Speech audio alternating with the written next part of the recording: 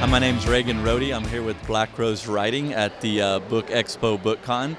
Um, we're here representing our authors for Black Rose Writing. We are an independent press located near San Antonio, Texas, and uh, members of IBPA. And we're excited to be here. Um, IBPA allows us a wonderful opportunity to showcase our books, to promote our books, and display our titles for our authors.